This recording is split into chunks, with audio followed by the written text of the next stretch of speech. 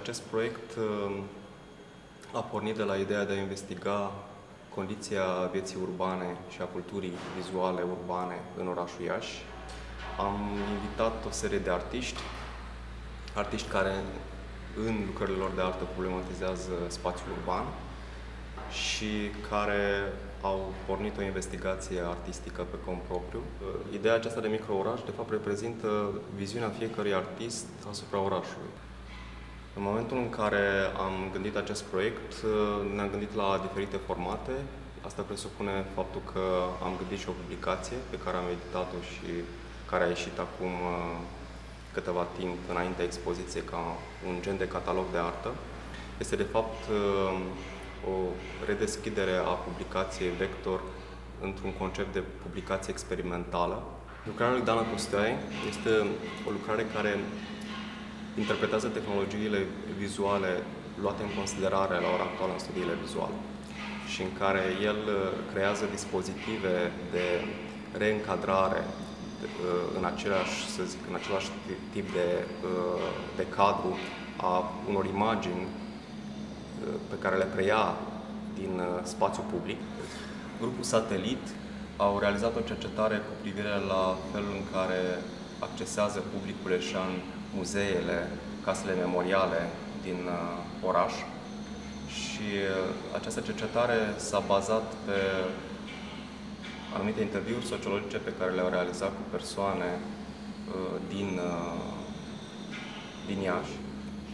În același timp au și fotografiat persoanele respective, care rămân oarecum anonime, chiar dacă sunt individualizate printr-un anumit mod de a, de a le fotografia, realizat și un performance, un performance uh, în care i-au recreat imaginea sub formă de tort, sub formă de prăjitură a așa zisului simbol al Iașului, respectiv uh, Palatul Culturii, distribuind această prăjitură, care de fapt se baza în ingredientele sale pe uh, o asociere între felul în care văd oamenii complexul muzeal și diferite arome pe care le poate avea această prăjitură. Lucrarea Laviniei German este o investigație fotografică asupra ideii de uh, oraș revanșist. E o idee care este lansată de geograful uh, Neil Smith. Se bazează oarecum pe uh, investigarea vieții de la marginea orașului, a celor care cândva au trăit uh, în centrele orașelor și care acum, în această perioadă, sunt uh, oarecum deposedați de locuințele lor și sunt nevoiți să trăiască undeva departe de oraș.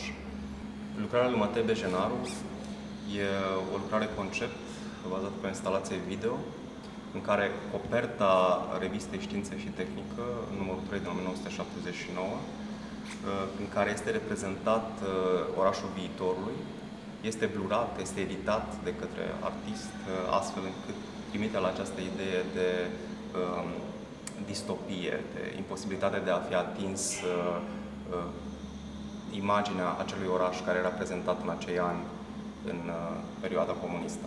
Dumitru Boroc uh, se bazează pe uh, o amintire din copilăria sa, uh, o amintire destul de puternică legată de felul în care trăia, când, bineînțeles, copiii nu aveau camerele lor și atunci uh, erau liberi. Uh, iar această metaforă a, teatru, a teatrului frunzelor uh, e o metaforă pe care el o investigează în această lucrare. Lucrarea lui Bogdan Teodorescu este o lucrare de pictură care prezintă felul în care monumentele publice au fost degradate datorită unor intervenții în construcții, datorită unor regândire ale spațiului urban. Lucrarea lui Meiței Apostol și a lui uh, Ionuț uh, Toma este o lucrare care propune un design alternativ expozițional, respectiv un filtru care separă spațiul expoziției de spațiul public.